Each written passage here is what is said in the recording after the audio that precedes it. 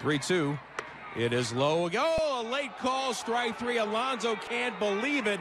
Takes off his helmet, and now he's been ejected by Mark Wegner.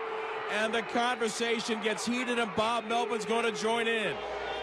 And now Bob Melvin is gone. Alonso being pushed back by the A's skipper, and now after Melvin's been ejected, he's going to get his money's worth.